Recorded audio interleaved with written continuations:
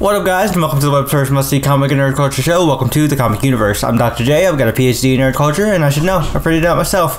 Welcome back, you guys. Another week, another bunch of anime to cover. Welcome back to the next episode of Dr. J's Otaku Outbreak, week two of summer 2019. Now, just a heads up, this will probably be my last video for a couple weeks because I'm going on vacation for the next two weeks, but I will be back um, after that, of course, and I will return and I'll probably just do two follow up videos instead of having to like crunch two weeks worth of anime plus, you know, the week that is currently happening together in one video. I'm probably just going to upload two separate Otaku Outbreak episodes uh, to cover the two weeks of anime that I do miss. But I will be back. I just wanted to let you guys know that before we get started. But you know, if you guys are new to this segment, this is the weekly segment where I talk about the anime that came out. Usually this comes out on the weekend, but I was a little busy preparing for the vacation, so normally this will come out on like a Sunday, but uh, this segment comes out on Sundays usually, and this is where I would talk about all the anime that came out this past week. And so this week we're mainly talking about the second episodes of most of these seasonal anime, as well as the first episode of an anime that I've been waiting for that I'm super excited to talk about. Of course, we're going to talk about this in release order, and I will leave time codes in the description if you want to skip to a portion talking about a specific show you want to hear my thoughts on.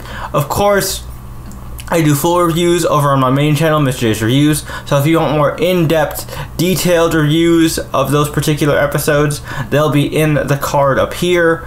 But this version, the Otaku Outbreak version, will be more of just kind of a quick spoiler-free blurb in case you want to just get the gist of the episode without any spoilers. But if you want more full, fleshed out reviews, check out the ones in the card that are on my main channel. But okay, let's go ahead and get started with our first show. The first show we're going to be talking about, of course, is Magical Senpai Episode 2.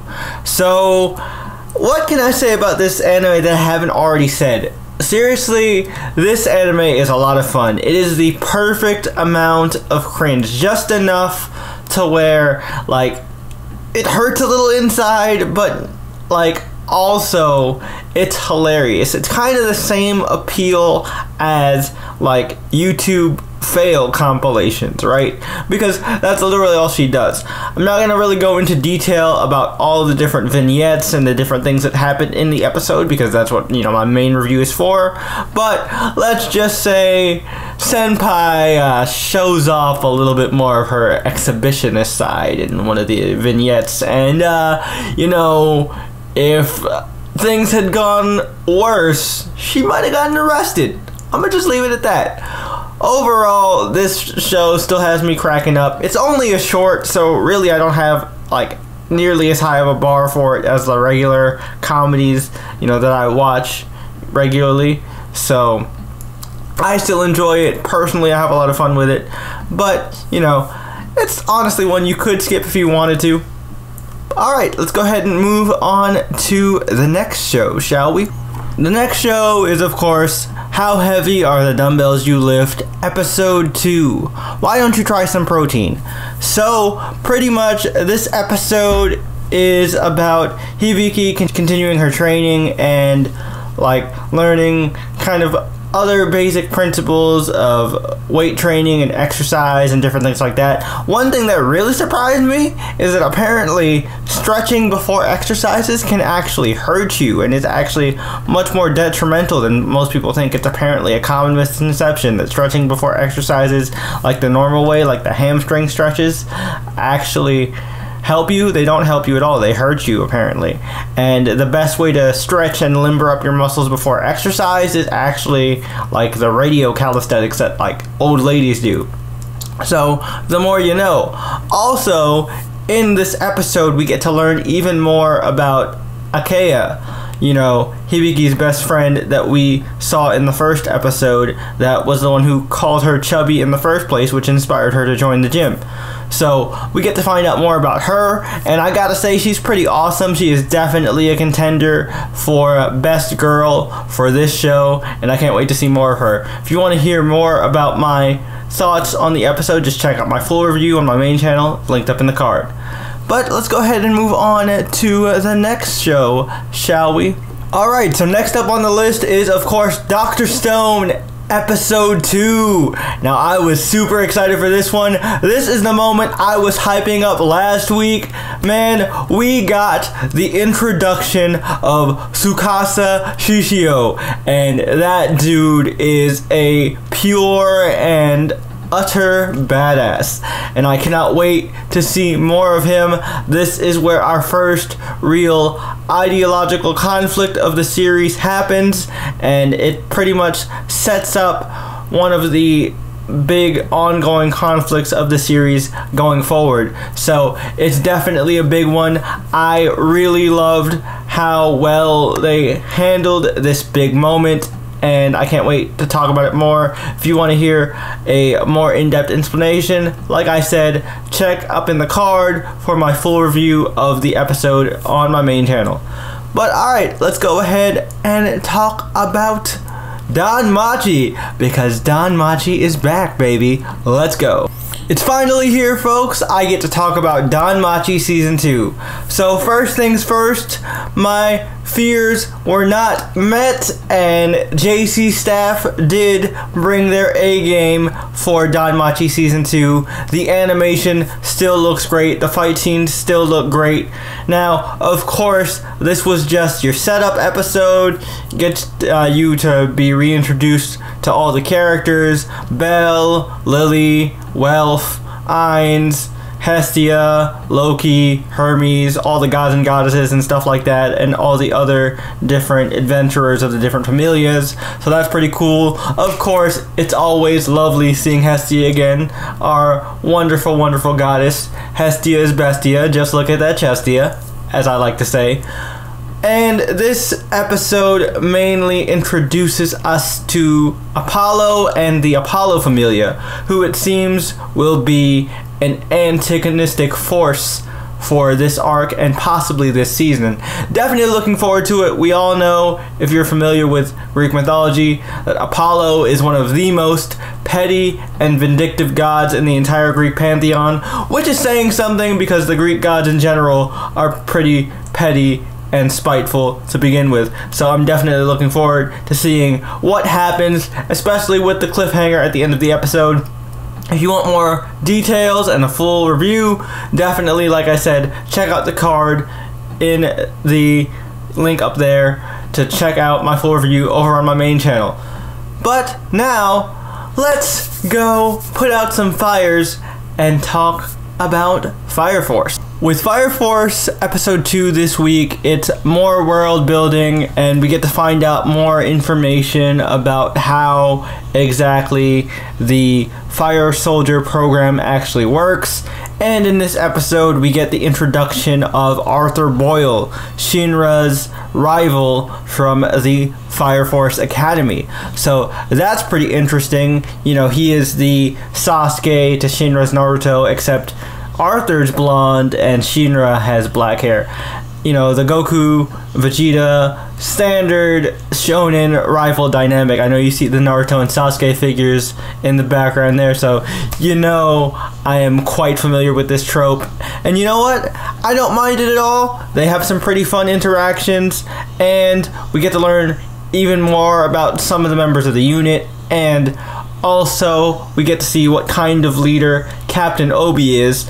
Like I said, you know the drill by now. If you want a full, in depth review of this episode, be sure to check the card for the link to the review I did over on my main channel. But overall, this is such a good series, man. It's really drawing me into the world, and I'm really enjoying it so far. Definitely check out Fire Force. Last but certainly not least, we are going to be talking about the first three episodes of Vinland Saga, the series I've been hyping up for a while now. So, it would have been on last week's episode of the Otaku Outbreak, but I decided to upload Otaku Outbreak week one on Saturday of Sunday, like I had originally planned. So instead, I'm putting the first three episodes of Vinland Saga on this week's episode instead. So these episodes pretty much give us like one kind of mini movie setting up the premise of the entire series. Essentially, like I said before, this is Vikings the anime, and it gives a historical dramatization of the Viking explorer Thorfinn and his childhood and you know the story with his father Thors and how his father Thors was a soldier in one of Ragnar's son's armies. He quit the life of being a soldier, much like a uh, Rurouni Kenshin and like the classic like a samurai wandering warrior trying to start a new peaceful life story. And of course, like all those stories go, he gets dragged back into life, but now his son is there with him. So it's got a little bit of extra stakes. This is done by the same studio that did Attack on Titan, Studio Wit. So the animation is beautiful, the action scenes are breathtaking. Loved all the character designs. I love the world itself. It feels very much like Vikings. So if you're into that show, you will definitely love this anime. It's great. For some reason, this one doesn't actually drop weekly. I think because they dropped the first three episodes, they're gonna wait a few weeks before they start dropping the weekly single episode releases. So we'll have to wait a bit. But those first three episodes are awesome. You can watch Vinland Saga on Amazon Prime. Now, the other anime that I have you know, mentioned in this video, of course, are all available on Crunchyroll, with the exception of How Heavy Are the Dumbbells You Lift, which is available on Funimation now. So definitely check all those out. Do not skip out on Vinland Saga just because it's on Amazon Prime. If you have an Amazon Prime account, you can watch it, so there's no excuse. So, that pretty much wraps up Dr. J's Otaku Outbreak Week 2. What did you guys think of this batch of episodes? What are you guys watching in the summer 2019 anime season? Uh, let me know all your thoughts and feels in the comments down below. As always, don't forget to Hulk smash that like button. It really does help spread these videos around. Make sure the algorithm, you know, shares them everywhere. So it really does help us out. Be sure to hit that subscribe button and notification bell so you get notified every time myself, DPZ, or C-Dubs uploads a new video. And real quick, before I go, I want to end this on a somewhat more serious note. Now, you guys should know if you've seen any of Dubs' videos, and I'm sure you saw the one he uploaded yesterday. Our boy Mikey, man. Mikey is the channel's like unofficial official mascot. We all love Mikey. And of course, he means the world to Dubs and his wife Taylor. So please be sure to go into the description if you haven't already and check out the GoFundMe page to help Mikey out. The poor baby is sick and he needs our help. Even if you can't donate to the GoFundMe, it really helps to just share it around. Let's help our boy, please. You know, I'm not the type to beg, but this is a serious situation here. So I just want to throw that out there at the end to just ask you guys out of the kindness of your heart to help out Mikey. And so far, a lot of you guys have, and that's great. I am so thankful. You guys are the best. Again, he's not my dog, but you know, Craig is my bro, man. Both Craig and Taylor are really close friends, and it breaks my heart to see them so like down and distressed, cause that's pretty much their son, man. So please, if you have the money or if you just have the time and are able to share it around, please just share it around. You don't have to donate, but if you can, it's much appreciated. So, on that note, I will see you guys in two weeks after my vacation. But until then, like I always say, once a comic geek, always a comic geek, and once no taku, always no taku. And hopefully, once I'm back, I'll see you guys next time in the universe. Peace.